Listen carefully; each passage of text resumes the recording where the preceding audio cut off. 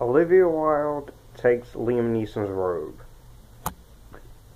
That was pretty funny.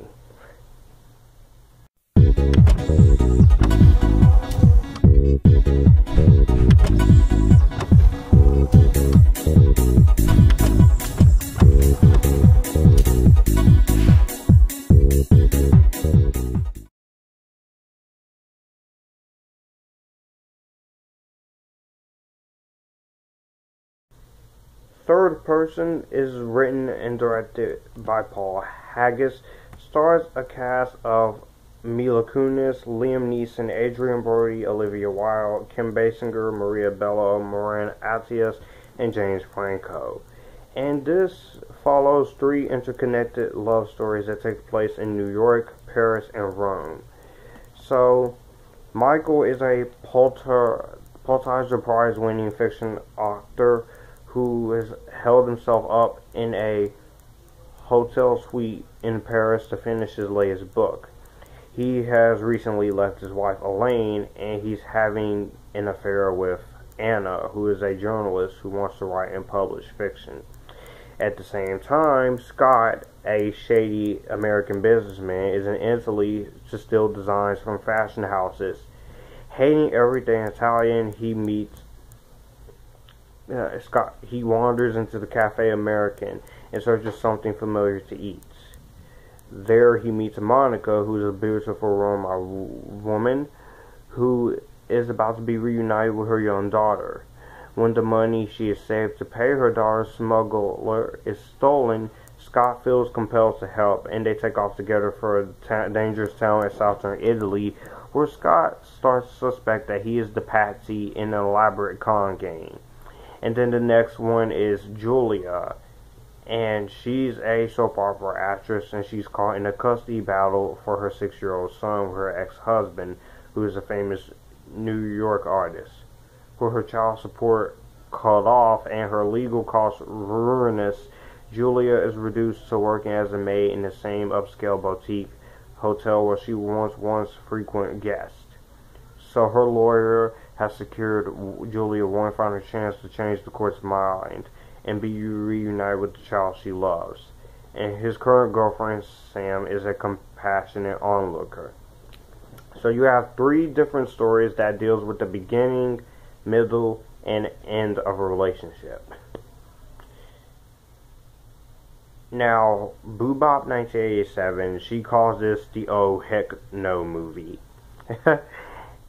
and I can understand why she didn't like it, but I honestly don't see the hate for this one.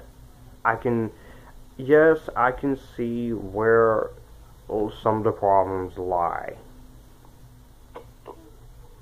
Um, I do think that the film goes on for a little bit too long, two hours seventeen minutes, but at the same time, I was sitting there watching it. I was like, hey, I don't mind the length here. It, um, I thought the direction here was pretty good for the most part. And the writing in some areas is a little off putting in a lot of moments.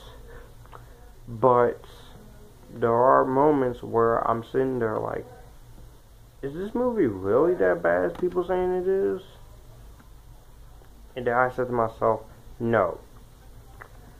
Also, I feel like that the one there's one story involving Adrien Brody's character I didn't. It gets also a good start, but it doesn't really like. It doesn't really like. Eh. But for the most part, I will say I did get enjoyment out of the story that that that one was going. Acting wise in this movie is good. You got Liam Neeson, he's always great. Um, Olivia Wilde, of course, from Tron Legacy. One of my favorite celebrity crushes. You also got Maria Bello, Kim Basinger in here. They're all the acting in this movie is great, but the standout here is Olivia Wilde and Liam Neeson. They were great. You also got David Harewood. If you're not familiar with David Harewood, he plays Martian Manhunter on Supergirl, which I still have to do season three, my season three review. Mm-hmm.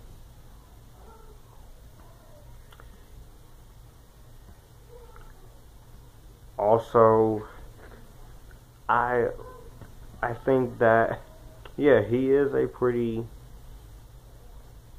is a pretty entertaining thing to do. And also I do like the music in here. I like the cinematography in here.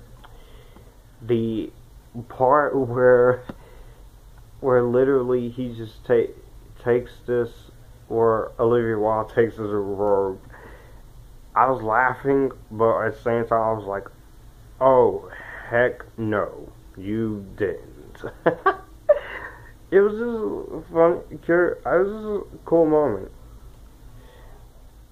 If you see, if you've seen the movie or seen clips, you know what I'm talking about.